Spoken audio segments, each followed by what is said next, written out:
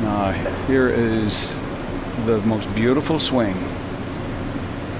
in the modern era, I believe.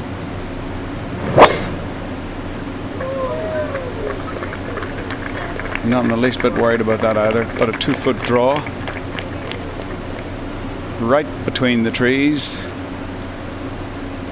That's right at the end of the fairway. Perfect. Yeah, excellent.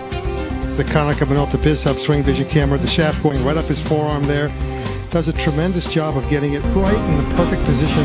He starts to turn his body beautifully, and as he gets to the top of the backswing, his right leg is straightened. There's a great angle between the knees there, a huge turn of the hips and the midsection, allowing him a full free pivot away from the golf ball.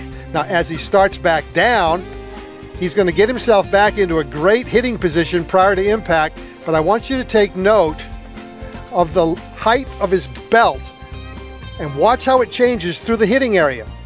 As he starts down through, he's going to drive up with the legs, but not until impact. Look at the belt, it's moved way up.